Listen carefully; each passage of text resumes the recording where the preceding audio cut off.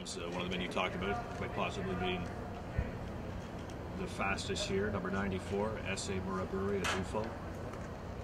Mississauga, Ontario, out of Wilfrid Laurier University.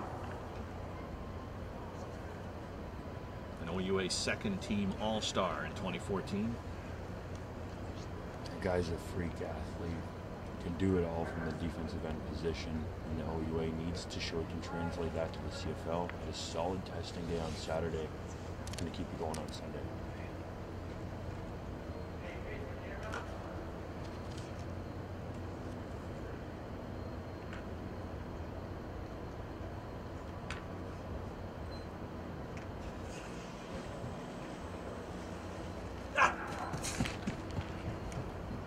Looks smooth there coming through the finish.